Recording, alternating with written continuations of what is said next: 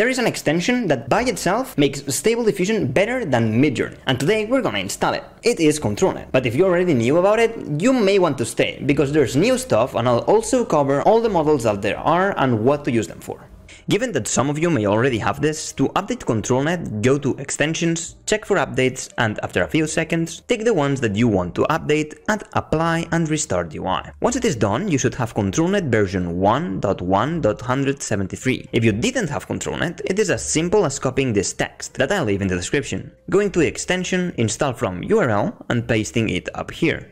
Then just click install. Once it's done, go to installed, click check for updates and again apply and restart UI. And now you have ControlNet, but you still need the models to go along with it. And as you can see, there are a lot of them. But don't worry, I'm gonna teach you what they all do so you can decide by yourself which ones you need. You can download the ones that you like the most by clicking this, and then move them to the Extensions, ControlNet, and Models folder. I will separate the models by groups based on what they do. There will be the Edge Detection group, the Mapping group, and the Modifier group. I will also go over OpenPose, which is a must if you want to have people in your images. To show you how everything works, I've modeled this quick 3D scenario. I'm gonna move the render into the image space inside ControlNet. If you want text to image to match the inputted image's dimensions, click this arrow icon right here and it will adjust your height and width accordingly. If you don't have an initial image, you can also click this and take a picture with your webcam, or create a canvas and paint something inside of it. This works well with the Scribble model that we will see later on. The way this will work is this. You will have an input image, then you will choose a preprocessor and a model. Each preprocessor will look at the input image and extract certain information from it. For example, the edge detection group will try to extract the lines your image creates in high contrast points. And then this new extracted information will be fed into the model. Every model feeds off of different types of information, but preprocessors usually match the name of the model you use them with. You can also input an image with the information already extracted and use no preprocessor at all, as there is no need for it in that case. You can see why this is a powerful tool now. This extension allows you for infinite control over what you want in the image and how you want it to look like. ControlNet plus some other basic skills like photo bashing or drawing is almost an invincibility hack. There is no AI art setback that can hold you back now.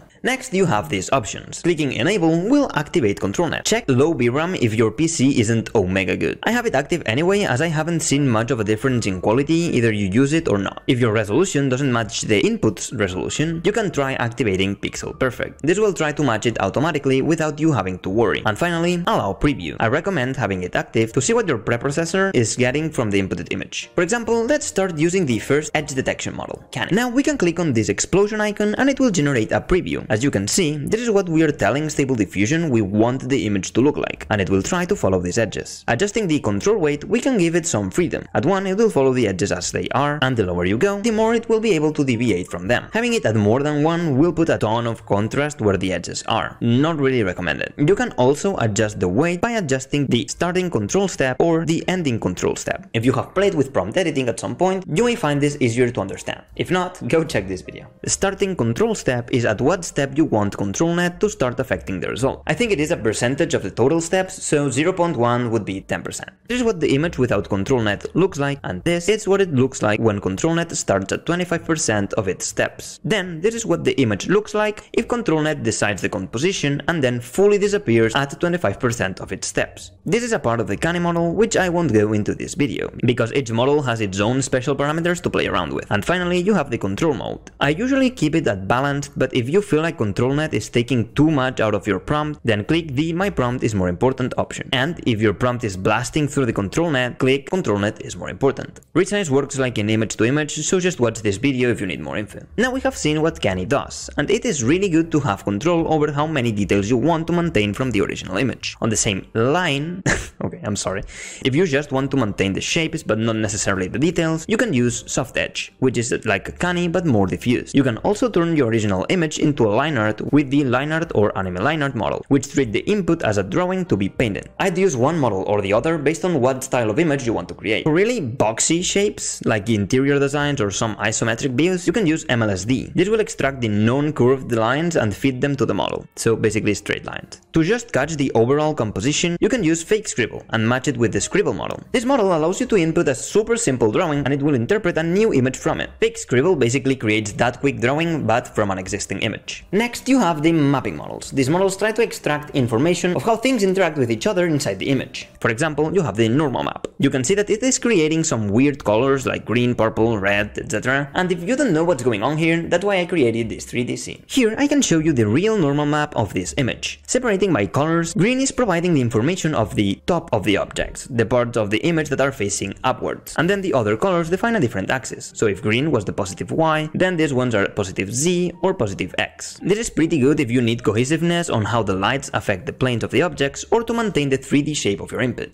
Another super useful model for this is depth. This one tries to capture the distance between objects relative to the camera. I would advise activating the preview and play with the preprocessors that there are until one of them gives you a good result. Keep in mind that white means close to the camera and black means far away. These models try to guess this stuff, obviously. You can see here that this big sphere is closer to the camera than the main tower when in reality it is further away. As an example, I'll use my own depth map that I rendered, having in mind that it needs no pre-processing. But Maya renders depth in reverse, so black is closer to the camera. In this case, I'll have to use the invert preprocessor to have the depth map applied correctly. Now you can see that everything is in place and keeps its overall shape. The last model is segmentation, or seg. It acts like an ID model, where it detects each object and assigns it a color value based on what it thinks it is. You can actually see what each color value means in this page right here. I really have to thank Olivio Sarikas for this. Uh, really sorry if I pronounced your name wrong As I didn't know that this existed until he made a video on it. After this, you can check that video out if you want more info. This allows for really precise changes on each part of the image with just a simple prompt. Super good if you have simple, easy to recognize objects that you need to change specific things about them. I actually planned talking about the color and the style model, but they don't work for me anymore, so they basically took the image's colors or style and then applied it to yours. You can't find this on the main page I gave you, so I'm gonna give you the other page where they are, just in case they work for you because they don't for me. Now we go into the modifier. Their job is to create a variation of the image input. For example, Shuffle will take the colors of your image, distort them, and use that as a base to create similar images. Pix2Pix is a pretty fun model. Here, you can take the original image and ask Stable Diffusion to change something about it. For example, here I typed make it snowy plus a scribble model with the image, and that changed the result so it had snow all over the place. Reference only is a new preprocessor that acts as a model at the same time. This comes installed with the new update and it's super good to create images that are really close to the original. It is able to maintain key aspects of the input really really well, so try it out. If you want to use two models at the same time, you can go into Settings, ControlNet, and increase the Multi-ControlNet slider to the desired amount. Then just restart the UI. There's also Tile in this group, but it is a really good upscaler, so I'm gonna use it later on when we have a good image to upscale. And to create that image, we will use OpenPose. This model makes it so you can pose your characters any way you want, including the face and the hands even though it isn't super precise with those yet. And there is 5 preprocessors for this. OpenPose alone will take an image with a person on it and try to create a skeleton rig that matches their pose, without hands or face, just the head and body. Here I use this image with OpenPose and Seg at the same time. You also have OpenPose hands, which will create the same skeleton but also looking at the finger's position and trying to replicate it, like here. If you were wondering where do I get these poses, here's a little trick as thanks for staying until this part of the video. You can go to Mixamo and look around for animations in 3D. You can pause these animations whenever you want and take the frame that you like the most, while also controlling the camera angle and the distance. Then just take a screenshot, drag it in, and that's it. Next there is the face model. You can have it with the full body or just with the face alone. OpenPose Full will get everything in the image, face, hands and body. Okay, now let's just upscale the image. For this, I'll send this new picture into image to image. I'll also add it in ControlNet and use the Ultimate SD scaler as the script, download link in the description below. Then I'll choose the tile preprocessor and model. What this will do is divide the image in tiles and upscale each of them individually to get more details in. And then it will mix every tile together. I'll choose the upscaler that we downloaded in the last video, put ControlNet in ControlNet is more important, and then just adjust the settings like this. Not sure if putting pixel padding to the max helps, but why not? I do activate Seam Fix though. This should make the tiles' seams less visible. Don't be afraid to experiment as I'm not 100% sure on how to use this at its best. And now you have the best extension for Stable Diffusion. We still aren't done with having full control over the image we generate though. So make sure to watch this video if you want more precision. If I have to say preprocessor once again, I'm leaving YouTube. Hey, if you're still watching, please subscribe. See ya!